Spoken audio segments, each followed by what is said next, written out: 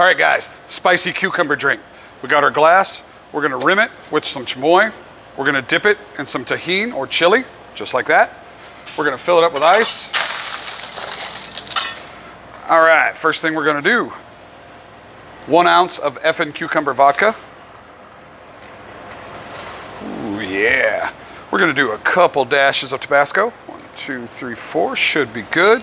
We got a good old chamoy that we're gonna put in there. Good old squirt. We're gonna top that off with a little bit of sour. Ooh.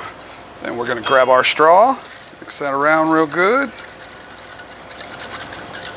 Ooh, guys, spicy cucumber drink. Yeah.